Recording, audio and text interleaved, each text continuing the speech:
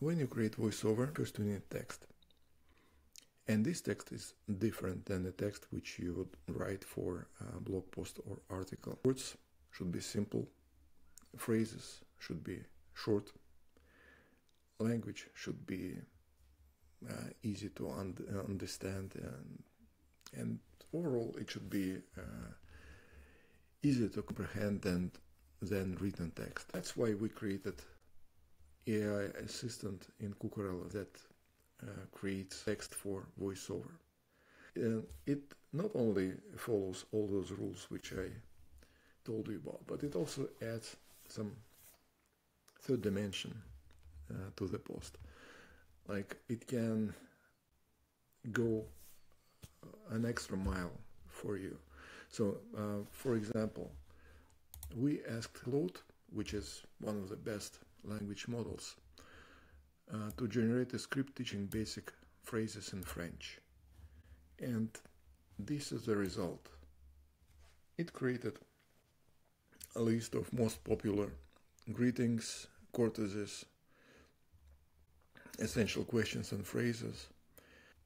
Basically, it's a dictionary where you when where you read a phrase or word in French, transcription, which uh, helps you to understand how it sounds, and translation.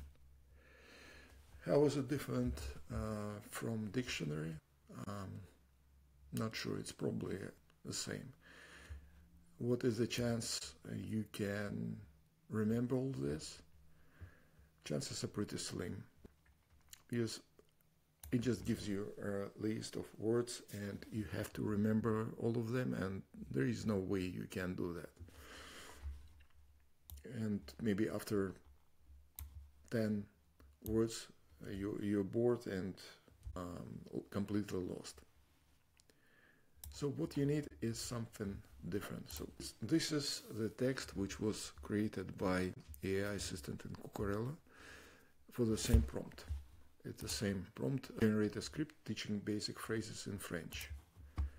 This is what we got in Kukarella. It does provide words, but it explains each word, how to use it, when to use it. And not only that, it it also tells you what is their perfect conversation starter for asking directions or seeking assistance and explains what can what phrases can save you from awkward situations. Remember, it uh, reminds you that it's always appreciated when you try to speak French first before reverting to English. And yeah, so that's how it's different because when when you want to explain the concept, you probably should look at that concept from different angles, from different points of view. And that's exactly what AI assistant in Kukarella does for you. Not only that, when you create a text for voiceover in Kukarella, the system assigns a voice. And uh, as you can see, there are some phrases which combine English and French words. This voice can read them both as native speaker. Let's listen to a couple paragraphs. Now imagine you're at a charming Parisian cafe ready to order your first authentic French croissant. Here's where je voudrais, I would like, comes in handy. Je voudrais un café, s'il vous plaît. I would like a coffee, please. Voila! You've just placed your first French order. Okay, next one. But what if you don't understand something? Don't panic. Simply say, Je ne comprends pas, I don't understand, or ask, Parlez-vous anglais? Do you speak English? Remember, it's always appreciated when you try to speak French first before reverting to English. Yeah, and not just that, not just that uh, dimension. We also tried uh, to create an uh, AI that uh, remembers about language uh, conventions. Is sometimes when you translate something uh, to a um, different language, there is no way you can know uh, every single uh, convention. For example, in some languages, when you say uh, date, you would say something like August 1st, 2024. Uh, In other languages, it will it will start with uh, date, not month.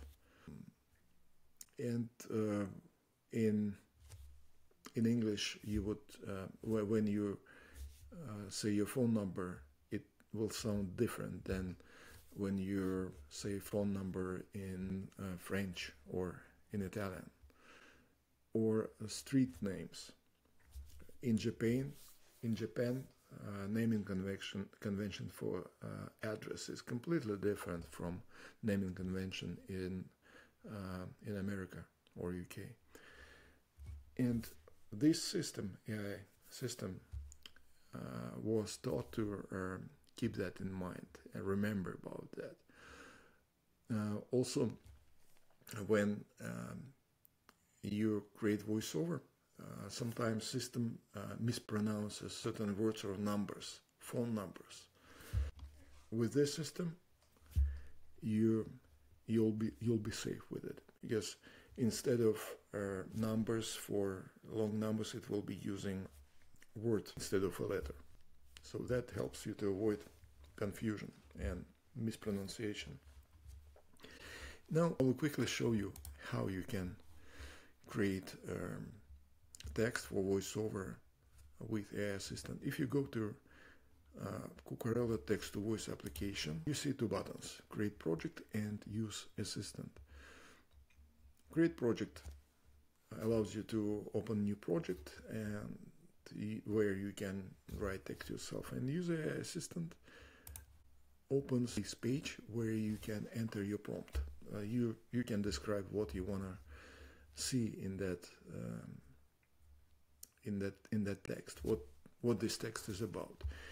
You can say it. Just click on this button, record. And your your voice system will transcribe it and paste it as a prompt. You can upload files, up to 10 files, and ask AI to use those files as a reference for this uh, text. Or you can go to popular requests and choose category. You see all prompts are organized by categories. And you can ask AI to create text that topic. Let's choose one. Create an educational piece that simplifies scientific principle for a young audience. We can read text about this concept, Schrodinger's cat. In a few seconds, AI will generate text you, you can edit, modify, um, translate to other languages, rephrase, rewrite. At least it will be some good beginning and it will save you lots of time. You see, it's done. If you want to change anything, you can use this assistant. If you want to change paragraph, use this Ask AI. If you want to change the whole text, you can use this one. But I'm pretty sure that text as is is quite good. And uh, you see, I also recommended a voice to create voiceover. So all you need to do now is to click play and you're, you're good to go. So hope this helps and now you're better understand the differences between text for voiceover and text for blog post or article. If you have any suggestions on how we can improve our AI assistant, please let us know. Um, we're happy to help. Thanks for watching. Bye.